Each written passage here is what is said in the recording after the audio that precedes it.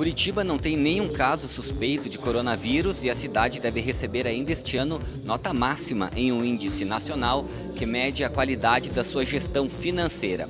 Estes são dois dos destaques das audiências de prestação de contas que aconteceram nesta semana aqui na Câmara Municipal de Curitiba. Na terça, foram apresentados os números da situação financeira da Câmara Municipal e da Prefeitura.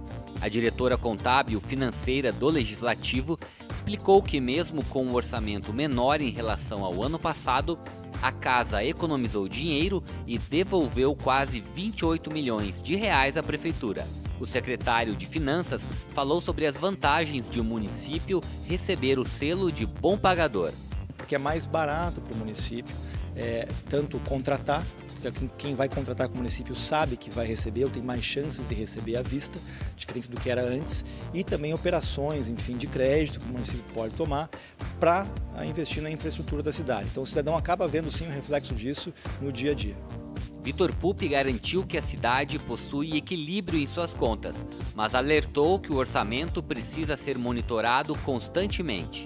O orçamento público sempre demanda uma vigilância constante. Então, da mesma forma que hoje nós temos uma certa tranquilidade, por assim dizer, é, é fácil desequilibrar.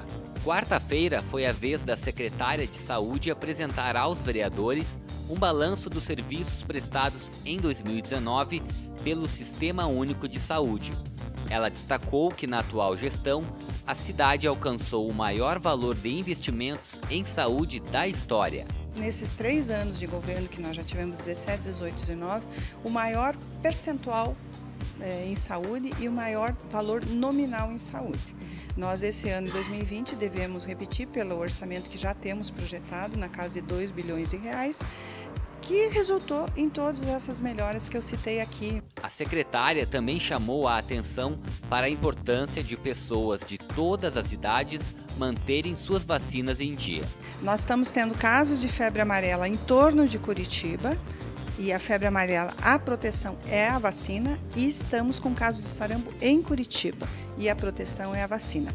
E a gente tem aí nessa reunião, né, fala sobre todo o orçamento que hoje passa de 8 bi. Então a gente tem que tomar com muito cuidado, muita responsabilidade e transparência hoje para a população, para que ela também tenha informação e conhecimento de onde é usado o dinheiro público. Todos os vereadores foram contemplados, todos fizeram questionamentos, seus comentários, agradecimentos, sugestões, mas é, não tivemos pergunta dos cidadãos. Sinal que estão ou estão muito bem atendidos ou não tiveram interesse em participar hoje.